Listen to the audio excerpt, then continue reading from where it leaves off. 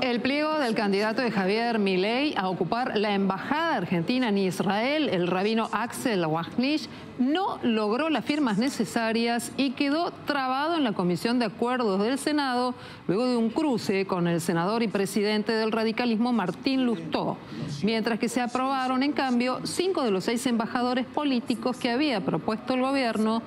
y se piensa que ahora habrá que encontrar una alternativa para el caso de la Embajada Argentina en Israel. Se presume que la decisión y las respuestas escuchadas en el Senado sobre la futura localización de la embajada, en principio en Jerusalén, es lo que ha generado diferencias profundas y negativas entre los referentes de la oposición y además porque hay preocupación por las consecuencias eventuales que esta decisión pueda traer ante el Reino Unido en el marco de la soberanía de Malvinas.